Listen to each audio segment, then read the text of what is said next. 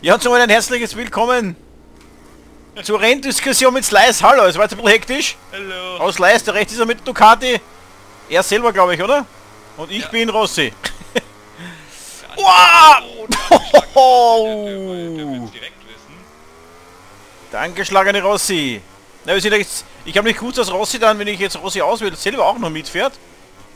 Na, jetzt bin ich Zweiter gewesen und dann erster Fehler, erste Kurve. Aber Slice hatte in Quali einige Stürze, ich gar keinen. Also da liegt einmal meine Hoffnung jetzt einmal grundsätzlich im Rennen. 10 Minuten, 7 Stürze. Jetzt fahren wir mal ein paar Meter, würde ich sagen, bevor wir hier anfangen zum Diskutieren über das, über das Rennen. Ja. Oder über die Rennen. Im Allgemeinen auch natürlich. Wie gesagt, auch wieder Spoiler-Alarm, wer die Rennen noch nicht gesehen hat. Genau, ja. Aber das werden die meisten ja eh schon von uns wissen und kennen. Ja. Ich meine, es steht ja auch im Titel, Renndiskussion. Ja, eben. Von Aragorn.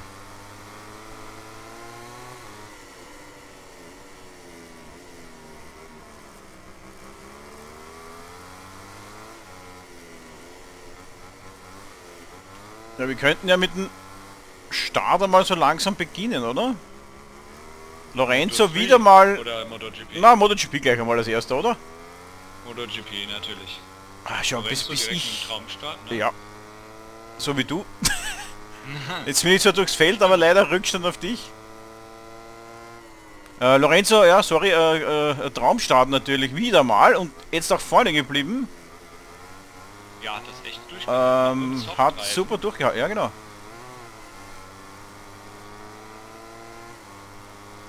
Und dann aber doch äh, die 200 Piloten ihn noch eingeholt und da ist er jetzt doch gestürzt, auch im Rennen, der liebe Slice. Ist echt verhext gerade. Ja, Qualifying, wie gesagt, 7 Stürze. Ich habe es in Quali schon gesagt, die Ducati ist nur für äh, Desmo Dovi, Desmo Bernie und Ja. Lorenzo. Selbst Petrux, Petrucci kam heute nicht zurecht mit der Ducati. Ja, das stimmt.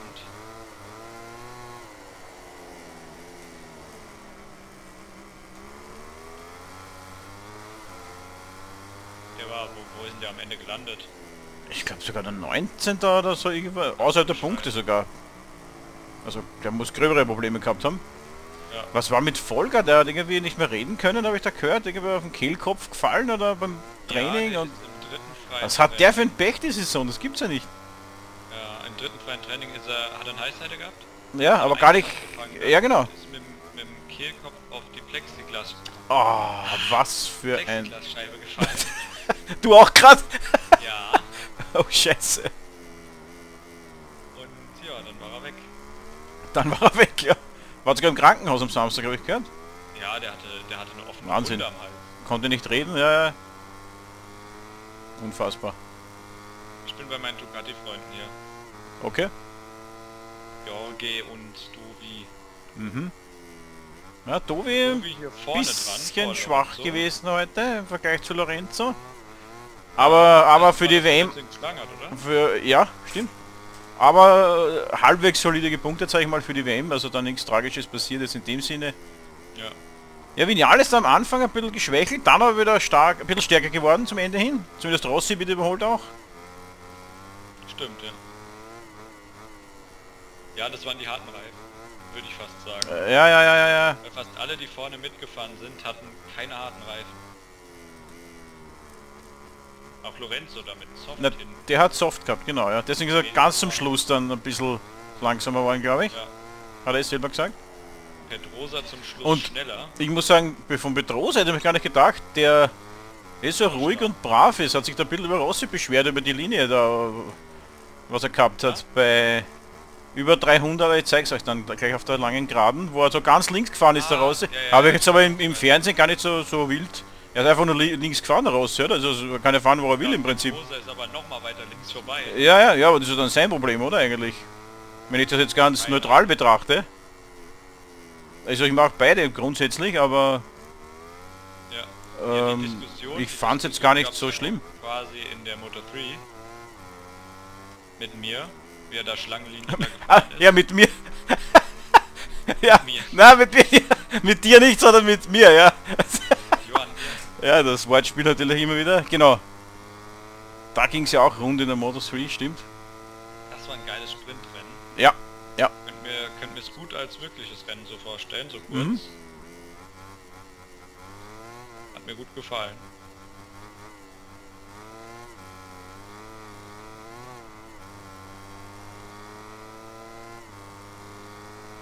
Na, abgesehen davon, ich fahre gerade mit Rossi. Top-Leistung von ihm nach der, den Unfall natürlich. Wahnsinn. Wahnsinnsleistung. Gegensatz, äh, wenn wir jetzt kurz wegen die Schmerzen und, und, und Unfall. Marcel Schröter musste leider äh, verletzungsbedingt dann aufgeben, weil die Schmerzen auch zu hoch geworden sind. Er hat dann Ja, zu viele Fehler gemacht, hat er gesagt, konnte sich nicht mehr konzentrieren im Interview, wenn du es gesehen hast. Ja. Und hat dann müssen retiren. Bitte? Er hat Kahn, Kahnbein getroffen. Ja, genau. Er war im Quali richtig stark, aber über die Renndistanz leider hat er es nicht Ja. geschafft. Aber richtig Da stark. Rossi dann noch mal krasser. Mhm. Aber auch gute Leistung von, von Sandro, muss man sagen, von Cortese. Der muss jetzt. Der, Der muss jetzt. muss jetzt, dass er noch einen Vertrag irgendwo kriegt dann, Ja. nächsten Jahr. Ja, aber das war schon einmal ein gutes Bewerbungsgespräch, äh, Vorstellung. Mehr oder weniger. Top 10 Jetzt, immer gut. äh, ja, Gerade in der Moto 2. vielleicht nicht ganz vorne bei einem Team, aber irgendein Team auf jeden Fall. Bin gespannt. Ja. Könnten sie austauschen statt äh, Vierge zum Beispiel. Tech 3 Ja, austauschen. Ja. Die nehmen Sandro. Außer sie haben irgendwelche anderen Pläne. Pläne. ja gut, in der Moto 2 gibt es eigentlich echt genug Möglichkeiten, Ja, ey, da gibt es viele Teams. unterzukommen. Aber um nochmal zurückzukommen auf Rossi, also die meisten haben ja gesagt, die realistisch wirklich auch Ahnung davon haben, dass er letzter wird, beziehungsweise keine Ja. Punkte machen kann. Und dann fährt er da auf 5 Ende, das ist Wahnsinn. Mhm. Ich niemals von ihm gedacht. Ich auch nicht, ne? Und auch dritter Startplatz, ist Wahnsinn. Ja, So viel Risiko gegangen, das war dem scheißegal irgendwie. ja.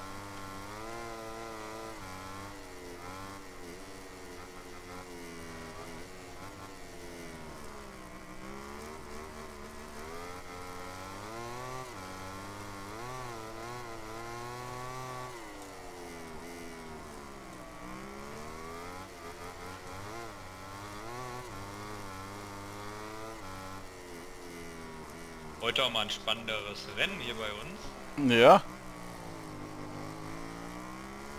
Rossi wird von, ja, in dem Fall jetzt mal Dovi gejagt. Von Slice. Slice.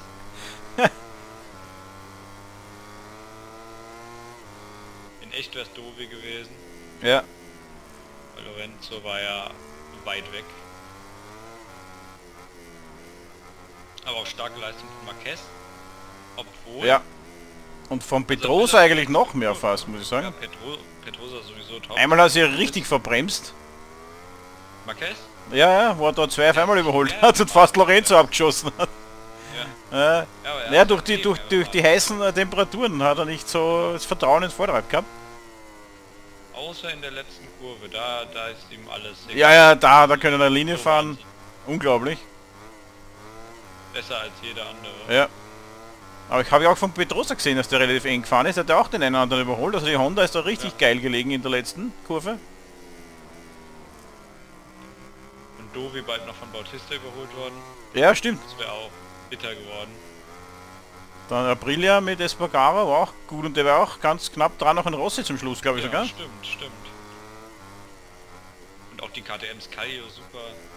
Ja, ja. Espargaro. Auch cool, ja. 10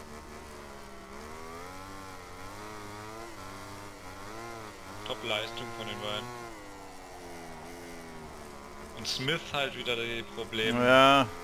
Problemkind bei KTM. Mhm. Auf 19 oder wann? Oder wo? Ja, da irgendwo dagegen, ja. Der Gegend auf jeden Fall weit Abstand. Da Rins, KTM Rins, Rins Gegend.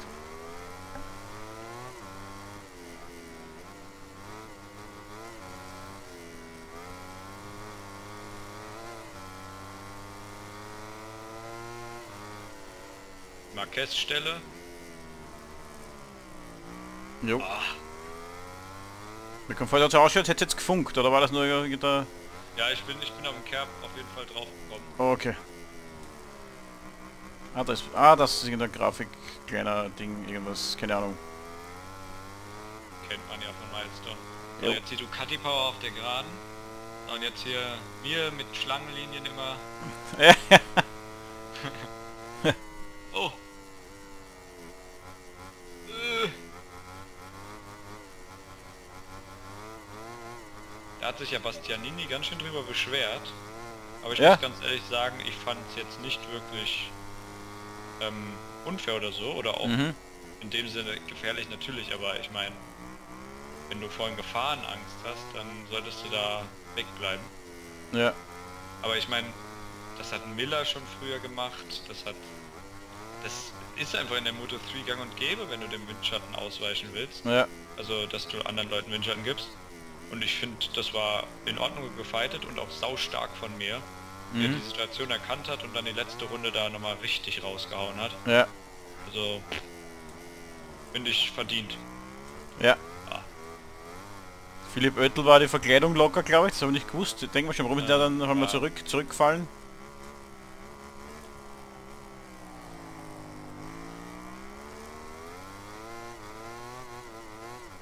Dem ist doch auch immer was, aber bei, ich weiß Ja. nicht, ich kann den nicht mehr so ganz für voll nehmen, seitdem er, seitdem er die Aussage getroffen hat, dass er Moto2 KTM-Vertrag ablehnt ja. äh, für Moto 3. Also, Ja, nee, der ist bei mir durch irgendwie, keine Ahnung. das ist... Das war, glaube ich, ein Fehler. Das war ein Fehler auf jeden Fall. Auch wenn grundsätzlich die Entscheidung, eine Motos3-Saison anzuhängen, um noch ein bisschen besser zu werden oder sich ein bisschen noch äh, mehr um die WM mitzufighten, vielleicht nicht so schlechte Entscheidung und grundsätzlich ist, aber, aber wenn ich ein Angebot, wie gesagt, schon bekomme und hier ein, ein Stoppy von Slice hier, hat's wieder so ausgeschaut, ja, Ja, es war einer. war okay, bei 300 oder so, einer. Das geht. Ja, die Curbs, das ist, wenn du da drauf kommst, entweder in voller Schräglage mit vollem Speed oder beim Anbremsen, das ist tödlich. Ist, wirklich der Tod hier in Ja. Aragon. Und meine Bremsen sind glaube ich jetzt nicht mehr so geil. Okay. Habe ich irgendwie das Gefühl. Hatte ich auch im Qualifying. Also jetzt wollte ich schon sagen, schau auf die Bremsen, aber wir haben ja Verschleiß. Ach so, die Bremsen? Okay, Ja, also fühlt sich so an. okay. Auch hier, ja. Also ich fühle können- weniger Bremskraft. Können die kaputt werden, oder was? Das Gefühl habe ich aber öfter, wenn ich stürze, aber immer nur beim Bremsen. Also alles Okay. andere ist irgendwie gleich. Also ist die, ist die Maschine, ist das runtergegangen, diese Grafik da rechts? Nee. Also, Nein, okay. im Qualifying war es aber ganz unten. Okay. Ja, das denke ich mal noch 10 Stürzen oder so. Nein, das war echt.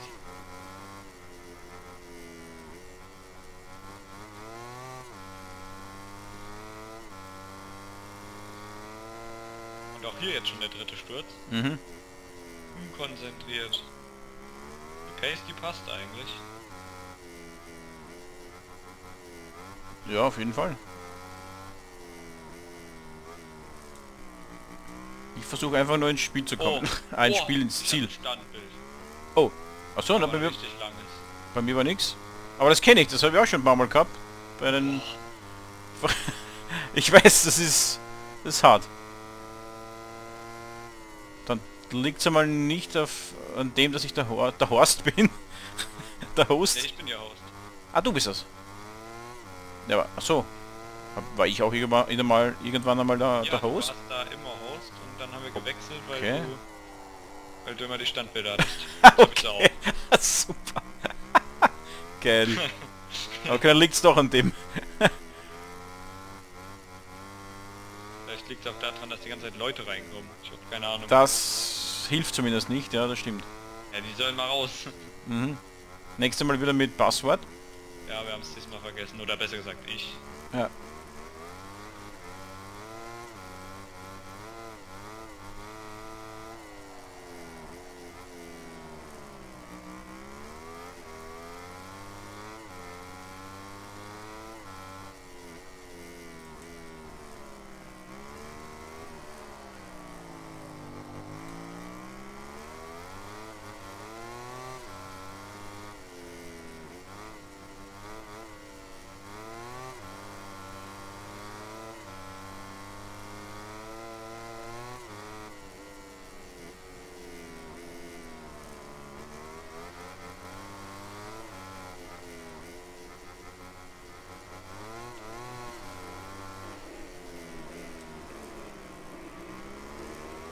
Finde heute das Rennen fast spannender hier bei uns.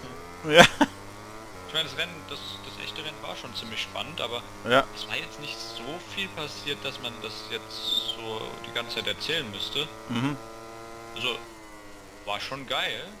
Und auch gerade das mit Rossi war ja das Hauptthema. Ich, Aber mach, ich mach mal den Marquez.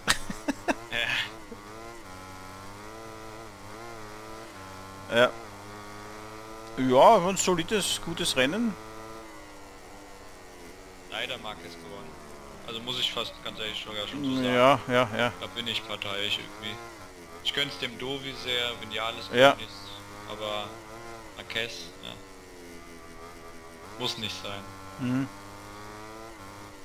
Was war eigentlich mit dem, haben wir gerade Marquez reden, mit dem Alex? Hat, ich hat Der der müssen auch- aufgeben, weil, weil den da, ich glaube Nakagami den berührt hinten, kann das sein? Und dann ist irgendwas kaputt worden. Kann das... Ja, ich, ich, glaub. glaub, der hätte irgendwie auch Schmerzen. Ach so. Ich weiß es nicht. Also, Also, ich Sie haben zumindest dann danach kurz die, die Wiederholung gezeigt, wer ihm da außen hinten kurz berührt hat.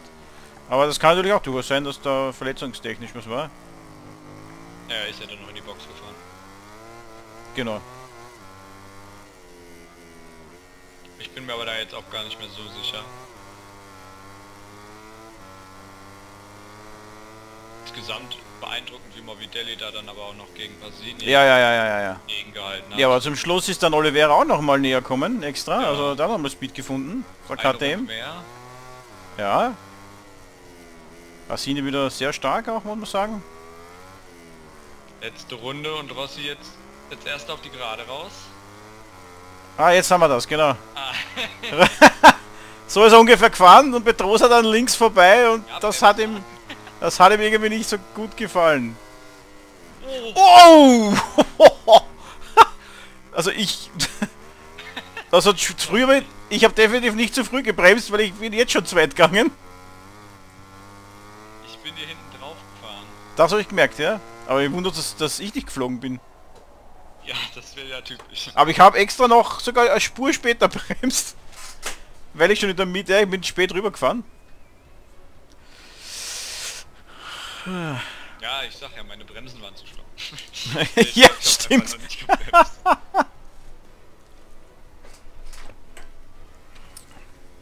Eieiei. Valentino Ja, Bernie gewinnt, aber gut, das ist jetzt sekundär. Valentino Berni. Ja, Ey, so.